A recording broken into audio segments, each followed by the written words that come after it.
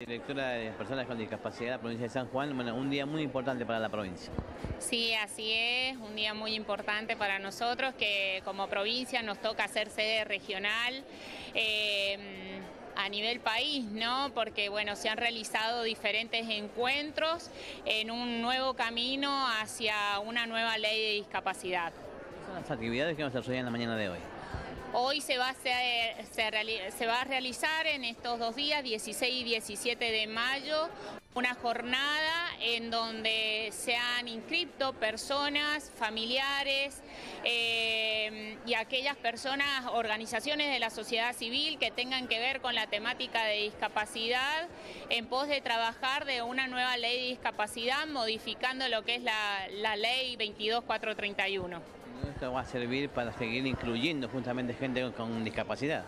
Así es, se trata de una, un proyecto de ley, un trabajo en donde este, es en pos de no, no perder derechos, sino de, de, ganar y de garantizar los derechos sobre las personas con discapacidad. Estamos hablando de una ley que fue creada alrededor de 1981 con un paradigma médico asistencial en donde la persona era vista como un sujeto de cuidado y no de derecho. Entonces ahora se apunta a una, a una ley con una mirada social, con perspectiva de género, en donde estén el reconocimiento de sus derechos humanos y políticos. Muchísimas gracias. A ustedes.